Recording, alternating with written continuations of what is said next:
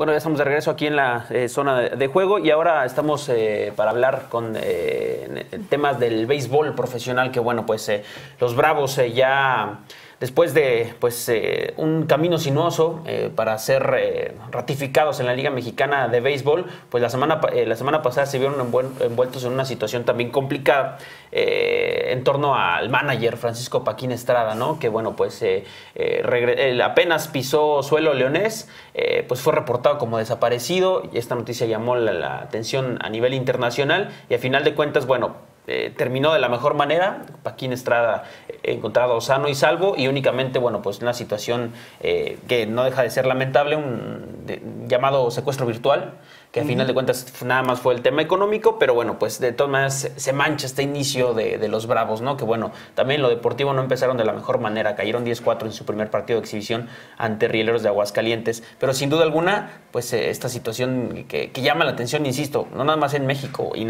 por lo menos en León, también a nivel internacional, da la importancia de Paquín Estrada, ¿no? Ex manager de la selección mexicana. Yo creo que es lo más interesante, Luis, de, de lo que sucedió revaloramos mucho a Paquín Estrada, me parece a mí un pilar fundamental de la historia del béisbol en México, este, un pilar, uno de los últimos grandes este, managers que ha habido en nuestra liga, incluso también como jugador, este, ya a sus 69 años, a sus 69 años de edad, este, es una, pues una de las pocas leyendas vivientes que pudiera haber del deporte mexicano en general, ¿eh? como manager. Y para analizar esto y para platicar sobre las, incluso de las posibilidades que tienen los Bravos en la Liga Mexicana de Béisbol, Luis, si te parece, saludamos y agradecemos muchísimo que haya atendido la llamada a nuestro colega de Hermosillo, Sonora, colega periodista deportivo, Arturo Llanes. ¿Cómo estás, Arturo? Javier, qué gusto saludarte. Pues eh, aquí ya sufriendo un poquito el calor, pero con muchas ganas aquí. Gracias por, pensar en nosotros. Claro que sí, gran susto nos pegamos también nosotros eh, cuando nos eh, avisaste, cuando me avisaste, ¿no? Lo, que había pasado con el Paquín, pero gracias a Dios todo terminó en algo bien. Y pues precisamente de eso quisiéramos platicar un poco, porque pareciera que no impactó lo mismo en Guanajuato. En Guanajuato vimos una un auge de inseguridad, un, un, fenómeno inusitado en este momento. Los repuntes delictivos están eh, a la orden del día, están eh, prácticamente cada, cada mes. Entonces el susto fue más por el lado de la inseguridad. Pero allá en Sonora, este, lo que impactó sobre todo fue por el tamaño de persona del que estábamos hablando. Paquín Estrada, oriundo de Nogales, Sonora, este, multicampeón en la Liga Mexicana, multicampeón en la, Liga del Caribe. Platícanos un poco de cómo vivieron ese, ese, momento y un poco más, tú que conoces y eres estudioso del béisbol, del, de la pelota caliente, como le llamamos, este, ¿de qué tamaño es la investidura que, tiene el Paquín Estrada como manager e histórico del béisbol mexicano? No, pues eh, se podría decir así con, con los pelos en la mano, como dicen, ¿no? El, mejor manager mexicano que ha existido eh, en la historia del béisbol de nuestro país. Eh, imagínate, también muy querido, una persona, pues un ser humano muy cálido, gran personaje, un todo un caballero y la verdad eh, impactó mucha mucho esa situación que, que comentabas, ¿no? La desaparición del Paquín, eh, consternada toda la, el público, no solamente los amantes del béisbol, no, sino como dices el deporte en general. Eh, estuvieron muy al pendiente de la situación. De hecho, cuando cuando eh, sucedió rápidamente, el, cuando se publicó el Twitter ahí y, se empezó a, a, todo eso, rápidamente se, se trató de buscar a la familia. Fue difícil encontrar a su hija ya un tiempo, al, tiempo pues se localizó, pero pues estaba todo en 3 y 2, dijéramos por términos beisboleros, y mucha consternación, a final de cuentas todo quedó en un susto y, ¿qué te diré? Eh, la gente muy contenta, mucho apoyo, sobre todo en las redes sociales, eh, en, en, el mismo, la misma gente en las calles, eh, tratando de averiguar qué le había pasado al Paquín. Eh, de hecho, tenía, yo acababa de platicar con un amigo también de este, por allá, por cierto, es de Navajo, el Paquín, de Navajo, y, y, me acaba de decir que lo acababa de ver ahí afuera de su casa, o sea, sentado en una mecedora, que te podría decir? Una persona increíble, un gran manager, un, que, que fue grandes ligas, también pelotero y con gran humildad, ¿no? Lo que te digo, entonces nos consternó mucho, de hecho, eh, aunque parezca raro, ¿no? Pero no es nada raro, la, nota fue principal en algunos medios de comunicación y algunos periódicos, de hecho, aquí en Sonora. Sí, pues la noticia, bueno, te, saluda Luis Omar Morales, Arturo. Eh, la noticia incluso pues llamó la atención, insisto, a nivel internacional, ¿no? Dadas las, las condiciones de, de Paquín, de, de haber eh, dirigido a la selección mexicana allá en la, en la Serie Mundial, eh, también por supuesto pues las, los títulos, los siete títulos en la del Pacífico, los tres en la mexicana. Eh, pero platícanos un poco más de, la familia, cómo, eh, bueno, se tuvo contacto con la familia desde el momento de la desaparición, después, eh, pues un, diario allá en, Sonora había declarado que se había platicado con la hija, con Abigail Estrada, y que, bueno, ellos ya habían recibido una llamada que se confirmaba el secuestro y que incluso se pedía una cantidad bastante alta, me parece era un, millón de pesos. ¿Cómo se vivió este tema en torno a la familia? Eh, imagínate, ¿no? Imagínate sobre todo por eh, la persona, ¿no? Por cómo es el Paquín, ¿no? Como, como te digo, eh, un, gran, aparte de un gran ser humano, pues un, gran padre, un gran esposo, todos lo conocemos como es, imagínate, también pues su familia es, conocida, de hecho, hace poco tuvieron un restaurante de mariscos y y repartía con la gente, el Paquín, sus hermanos, sus, hijos, su esposa, todos. Entonces, la familia, imagínate cómo estaba, ¿no? O sea, de hecho, pues algunos hasta pensamos lo peor, ¿no? Pensamos lo peor, pero pero pues lo bueno es que, que, todo quedó en solamente un susto y, y hay que reconocer a, a Francisco Estrada que también muy muy conocido aquí en Hermosillo, pues eh, curiosamente manejó a los naranjeros, aunque ni siquiera terminó esa temporada, ¿no? Pero, pero los manejó el 2007-2008, así que también muy querido por la afición aquí en Hermosillo. ¿Qué, eh, digo, ya pasando un poquito más a lo deportivo, Arturo, ¿cuál sería, consideras tú, el mayor aporte que le va a dar Paquín a esta franquicia de los Bravos de León, que va iniciando, que va armándose? Platicábamos antes este, de entrar al aire, pues sobre el, pues el roster es muy, muy, muy joven, muy, muy joven. Paquín tiene finalmente en su expertise también la posibilidad de crear buenos jugadores. Este, tú que le has dado seguimiento, ¿cuál sería ese gran aporte y qué ejemplos tú encontrarías en eh, proyectos similares que haya este, enfrentado el Paquín en su carrera? Mira, quizá es el, yo digo en, lo personal, ¿no? ¿Por qué regresa el Paquín Estrada como manager al béisbol. Entonces, eh, yo digo que uno de sus grandes retos, y quizá por primera vez, el Paquín eh, estará en un equipo, eh, pudiéramos decir, no con un roster plagado de, figuras, ¿no? Como lo fue con los tomateros de Culiacán, con los naranjeros de Hermosillo, con los águilas de Mexicali, con los yaquis de Obregón, los mayos de Navajo, todos ellos que manejó aquí en la pelota invernal y pues con los que manejó allá en, en, verano, entre ellos los, los, piratas de Campeche, ¿no? Entre algunos otros, eh, eh, bueno, los mismos Bravos de León, ¿no? En el 90, ¿no? Así es. Eh, yo creo que es un nuevo reto para el Paquín, ¿no?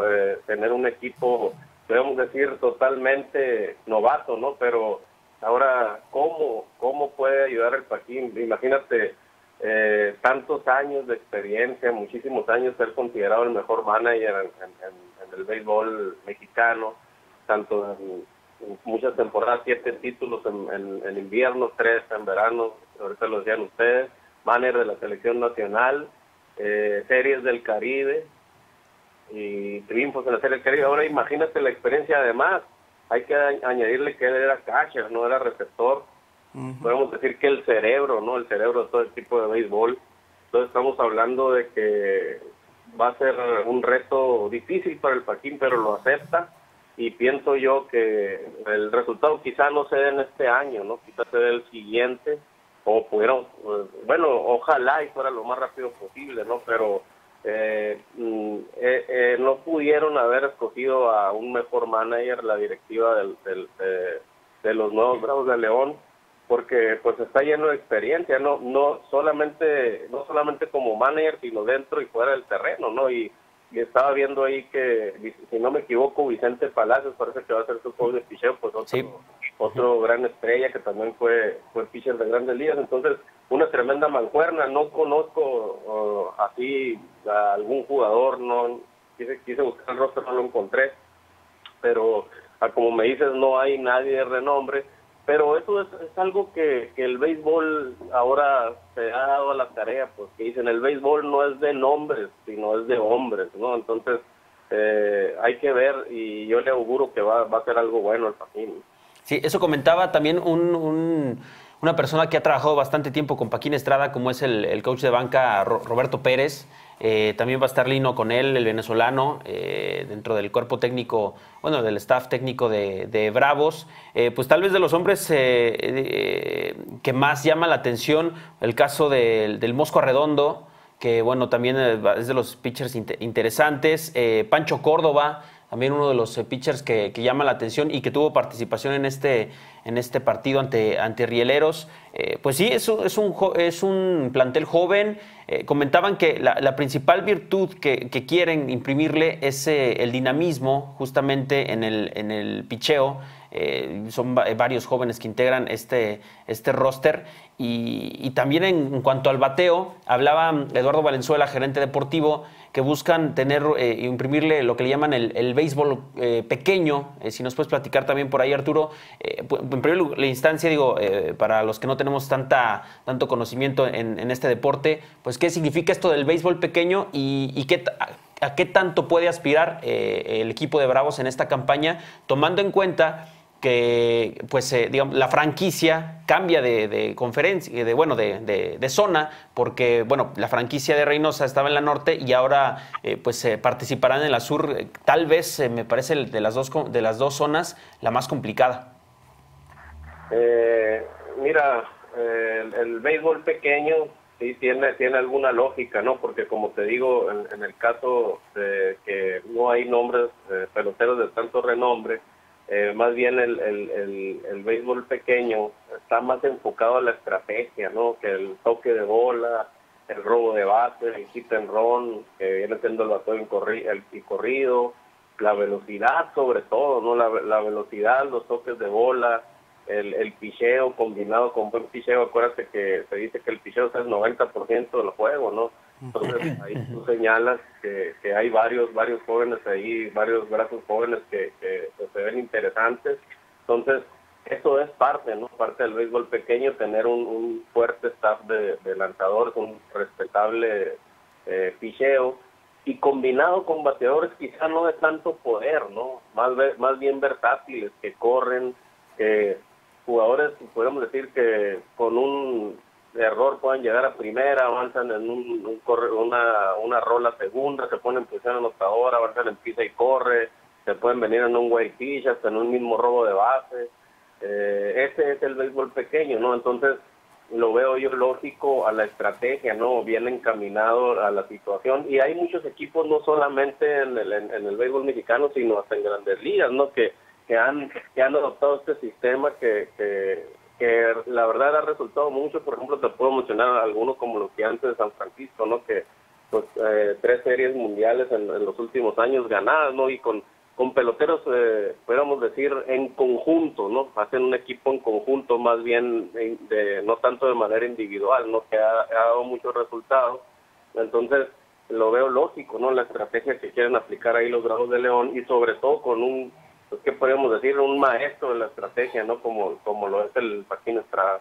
Así es, pues eh, el 4, eh, el 31, el 31 de marzo está pactado el, debut, el regreso de la, bueno, de, la nueva era de los Bravos, enfrentando nada más y nada menos que ante el campeón, los Pericos de Puebla, allá en, en eh, territorio poblano. Eh, y bueno, pues el estreno de Los Bravos aquí en León en el Domingo Santana para el 7 ante eh, los, Rojos del Águila de, Veracruz. Ese es el, calendario que bueno le, tocó al conjunto, al conjunto de Bravos. Recordando que bueno, son 111 partidos los que van a estar disputando cada uno de los equipos. Pues es una temporada complicada, Arturo, pero bueno, pues, eh, pues con lo que han, han platicado, con lo que han demostrado, pues eh, en una de esas Bravos podría alcanzarle, ¿no? Para, para dar por lo menos alguna sorpresa, ¿no? Si bien no, no llegar a la final o pensar en el título, pero sí para sorprender a propios y extraños, ¿no? Sí, sobre todo, eh, como te digo, el béisbol ha, cambiado, ¿no? Ha cambiado mucho y, hay muchos equipos que podemos ver quizá una o dos estrellas o no es un Dream Team, ¿no? Pero son esos equipos aguerridos, esos equipos de jóvenes, ¿no? Que, que quieren, que quieren destacar, que quieren ser alguien eh, con hambre, ¿no? Hambre de hacer las cosas, entonces eh, se podría dar, como dices tú, ¿por qué no? En un momento dado, sobre todo, pues el, el eh, con el cuerpo técnico, ¿no? Que tiene que tiene el Paquín que que eh, veo yo bien la combinación, ¿no? Veo bien la combinación jóvenes con, con, con un cuerpo técnico pues de mucha valía, mucha experiencia, ¿no? Que, que es lo que necesita lo que necesitaría que para que hiciera el contrapeso, ¿no? En el equipo y y por qué no, ¿no? Como dices, eh, sería un éxito total ya con el solo hecho de pasar los playoffs, ¿no? Importante lo que mencionas también, Arturo, es la primera incursión de Paquín con un proyecto de estas características. No podemos llamarlo a lo mejor ventaja o desventaja, pero con estas características es la primera vez que el Paquín se enfrenta a una franquicia nueva con la misión de consolidar este, el, proyecto, consolidarlo de manera deportiva, este, en sus capacidades, en su estructura, en la creación de talentos eh, déjame decirte que aquí en León, pues tú lo viviste, Luis Omar, en, en aquella visita a los campos, a los campos llaneros de béisbol que tenemos aquí en León. Muchísimos, muchísimos jóvenes talentos que pues se han tenido que rezagar y se han tenido que eh, pues prácticamente resignar a los campos llaneros al no tener finalmente un escaparate mayor para poder llegar a un béisbol profesional. Y los Bravos se perfilan como el proyecto que pudiera darles esa, esa oportunidad híjole, y yo creo que con la mano del Paquín, ojalá, ojalá el proyecto vaya a largo plazo o mediano plazo a consolidarla deportivamente y que el Paquín pueda aportar lo mismo que en aquellos entonces de 1988 al 90 este, lo hizo, lo hizo en esa ocasión, hasta lograr que fueran campeones y pues escribieran con letras de oro, pues a lo mejor la escasa historia de beisbolera que tiene Guanajuato, pero qué mejor que la puerta de entrada sea un antecedente como este, como un Paquín Estrada que regresa para tratar de darle nuevamente la gloria a los Bravos de León. Eh, y vas a ver que se va a dar, se va a dar sobre todo Ahí me llamó mucho la atención cuando anduve por allá, yo por, Guanajuato, yo no estaba enterado y quizá muchos de acá de nosotros no sabemos que, que Valenzuela jugó por allá, ¿no? Jugó jugó en, una liga, no sé no sé qué sería eh, profesional, ¿no? Regional, prácticamente.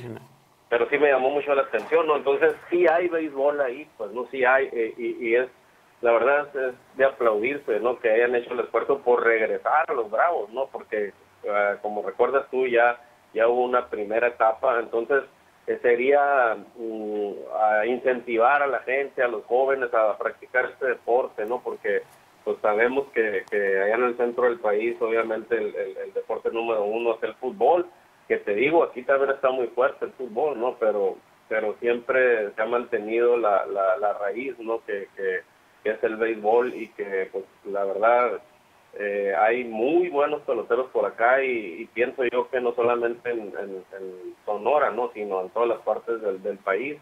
Entonces, eh, la verdad hay que celebrar que, llegue, que regrese el béisbol, ¿no? Que regrese el béisbol a Guanajuato y, y pues toda la suerte, ¿no? Al, al Paquín y a la directiva que, que se está aventando el tiro, ¿no?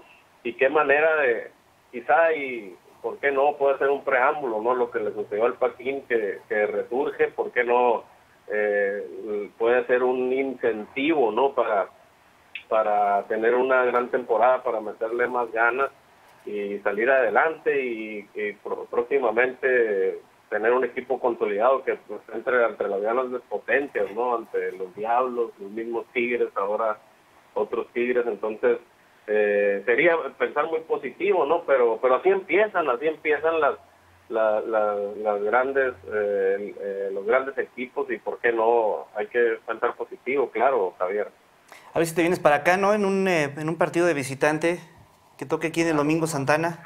Sería, sería la verdad muy interesante, fíjate, andar por allá y claro que acepto tu, tu invitación, sería cuestión de ponernos de acuerdo y claro que sí, eh, me gustaría estar por allá como te digo, recuerdo la, la, época del Paquín Estrada aquí como manager de los ganaderos de Hermosillo que se anunció, pero con bombo y platillo, ¿no? Y, desgraciadamente pues no se le dieron los resultados, hubo pues algunos rumores, ¿no? Que hubo eh, algunos problemas ahí en el Dago, pero es lo que te digo, pues en ese momento los naranjeros de Hermosillo contaban con un plantel plagado de estrellas, ¿no? Y muchas veces es muy difícil, aunque parezca fácil, pero al contrario es al revés, ¿no? Que, que un equipo de jovencitos como el que tiene el Paquín y y que haya aceptado el, el, reto, ¿no? De, de, lograrlo y, y, como te digo, me gustaría estar ahí, ¿no? Ver, ver cómo, cómo, cómo se desarrollaría, ver el béisbol ahí en Guanajuato, de verdad, es interesante. No, y seguro, y es muy factible que los naranjeros este, han venido en múltiples ocasiones a hacer pretemporada por acá y este, con los Bravos de León, pues yo creo que es muy, muy, muy factible. Este promotor Mauricio Martínez es muy dado precisamente a tener esa relación con los equipos eh, norteños, con los equipos este, de, Sonora sobre todo. Y pues ojalá, ojalá que se dé Arturo y aquí es bienvenido. Y pues estaremos observando al Paquín Estrada, yo reitero, leyenda viviente del béisbol mexicano. Sí, este, aquí tengo algunos datos así que, que, les quería compartir, ¿no? Adelante. Para que vean la, la, clase de, de figuras. El, el Paquín debutó el 82-83 con los Tomateros de Culiacán, sustituyendo a José Álvarez, ¿no? Eh, después eh, de esa temporada inició y luego manejó a los Mayos de Navojoa, a los Águilas de Mexicali, a los Yaquis de Obregón, regresa con los Tomateros, regresa a Mexicali, regresa otra vez a Culiacán y después con Hermosillo. Entonces, eh, además ganó dos títulos de la Serie del Caribe, siendo el único mexicano que lo ha logrado, ¿no? El 96 y el 2002, ¿no? Eh, aparte, él jugó 30 años en la Liga Mexicana del Pacífico con Navajo, Obregón, Mazatlán y Culiacán. Estamos hablando del 64-65 hasta los 93-94. Esto es un récord, ¿eh? nadie lo ha hecho. En el 71 jugó en grandes ligas con los Angelinos de California aunque se tomó una casita, una tacita de café, pudiéramos decir. Debutó a los 16 años de edad, como, como el que acaba de debutar ahora, ¿no? Con, con, pero pasando al fútbol con el muchacho este de los Águilas del, del, América, ¿no? Sí, sí, sí. 16 años tenía el Paquín cuando, cuando, cuando debutó y eh, fue introducido al Salón de la Fama del Béisbol Mexicano el 2000. Ocupa el quinto sitio en hits y séptimo en dobletes en todos los tiempos en la en la Liga Mexicana del Pacífico, así que pues ya saben, siete títulos ganados en, en el béisbol invernal. El que le sigue, fíjense, es el, el Cananea Reyes con cuatro, o sea... Hay mucha distancia. Es doble, ¿no? Entonces ahí están algunos algunos eh, datos de Francisco Estrada Soto, que, que por cierto, ese mismo año, eh, bueno, ah, eh, fue presentado en enero del 2009, si no, si no me equivoco, aquí en Hermosillo, y ese eh, en octubre lo operaron del corazón, del corazón abierto, que por cierto fue, eh, fue exitoso y así ha podido seguir su vida, gracias a Dios, el Paquín y, y, así está ahora, fíjate nomás, eh, ahora manejando de regreso, ¿no? a, los Dorados de León, también dirigió a los Dorados de Chihuahua, creo que fue su última, su última, su última vez que, manejó. Su último equipo. Chihuahua. Entonces regresa a los Bravos de León y ojalá, como te digo, con, buenos resultados. Acá consiguió el título siendo eh, catcher y también este manager. Jugador en el, en el 90. En el 90. En el 90, que es el jugador que, que, por cierto, también pudiéramos decir, son posiciones que, que bueno, ya pudiéramos decir como eh, obsoleto, ya no se usa, ¿no? Antes se usaba mucho que, hubiera manera de jugadores, ahorita ya, ya, la verdad, no me acuerdo yo lo último que, que haya sido Maximino León también, que, que fue pitcher aquí con los granjeros un tiempo, fue manager, y imagínate la responsabilidad, no ser manager jugador, y, el Paquín ahí lo logró en el 90, así no, no, no estaba enterado que, también estaba, estaba en activo, todavía creo que fue una de sus últimas temporadas. Sí, sí, exactamente, con ese se retiró. Pues Arturo, te agradecemos muchísimo este contacto telefónico. Vamos a estar pendientes. Yo creo que sería importante, pues en lo subsecuente, ya viendo el rendimiento de los Bravos, ya iniciada la temporada, pues seguir colaborando, ¿no? Y seguir en contacto para platicar y analizar precisamente cómo van avanzando los Bravos de León en la Liga Mexicana de Béisbol. Claro que sí, aquí estamos, estaremos muy pendientes, ¿no? Muy pendientes de lo que, de lo que hagan los Bravos eh, te, prometo que a la próxima que me llames ya voy a tener ahí un poco de análisis del, del, equipo, de los peloteros, ahí podríamos platicar ya más más técnicamente, ¿no? Claro que sí, cuando, cuando, cuando gustes aquí estaré. Perfecto, muchas gracias Arturo, estamos en contacto. Dale, gracias. Ahí está, Arturo Llanes, periodista deportivo de Hermosillo, Sonora. Este, muy buen amigo y además un conocedor amplio, amplio, amplio de una familia de analistas y periodistas deportivos, cronistas deportivos, este, que le han dado seguimiento principalmente al béisbol, al box, al básquetbol, tres deportes que en Sonora este, pues un punta de lanza precisamente dentro de la promoción deportiva. Pero fíjate nada más la diversidad que empieza a ofrecerse en este, estados como, como Sonora, que es yo creo que a lo que debe de aspirar un estado como Guanajuato, tener esas variantes impresionantes y además este, tener esa posibilidad de crear más y más talentos. Así es, cosa que bueno, le hace falta al Estado. Y que bueno, pues eh, esperemos que más adelante también nos, nos, dé la oportunidad, Arturo, de, dialogar sobre pues, el paso de, los Bravos, ¿no? Que, insisto, debutaron el, pasado sábado, cayeron 10-4 ante los Rieleros, en el primer partido de pretemporada. Se jugó en Capilla Guadalupe, en Jalisco. Y el equipo se trasladó a Ciudad Obregón, a Ciudad Obregón, Sonora. Allá van a estar eh, trabajando. Eh, van a estar hasta el 22 de marzo con una especie de pues, concentración allá. El partido del 20 de, marzo que se tenía programado en Moroleón se va por lo pronto a posponer, se, buscará reagendarse, reagendarse, para el 23 de marzo, inmediatamente regresando de Sonora, eh, juegan en Aguascalientes, otra vez contra Rieleros, y bueno, se tiene pensado eh, programar, eh, bueno, aparte de varios partidos allá en Sonora, de aquí al 22, de regreso por lo menos un, par más para, para que, bueno, el 31, insisto, debutar ya en la temporada 2017 visitando a Pericos de Puebla. qué lástima lo de Moroleón. Moroleón hay una tradición eh, en las comunidades rurales este, de béisbol llanero. En la liga invernal jugaron los, los toros. Impresionante. Moroleón hay una, es una gran, gran plaza con una gran popularidad. En comunidades rurales es una gran cantidad, gran cantidad de equipos y de ligas este, e interligas que arman entre ellos es impresionante. Lástima, este, pero yo creo que hay una buena oportunidad ahí para hacer después un, buen juego de exhibición. Sí, insisto, en la liga invernal, ahí pues estuvieron los toros, los, el equipo de los toros de Tijuana hicieron su equipo ahí en, en Morelón y también ahí al ladito en Uriangato. También hubo béisbol en la liga invernal que bueno pues es de las plazas también beisboleras aquí en el esas tradiciones escondidas del béisbol en Guanajuato. Así es. Bueno pues llegamos al final de esta eh, extensa mesa de zona de juego. Y bueno pues ya para nos vemos el día de mañana también a nombre de Arnoldo Cuellar y de todos los que colaboramos en, en Zona Franca. Nos vemos mañana martes. Gracias Javier. Hasta luego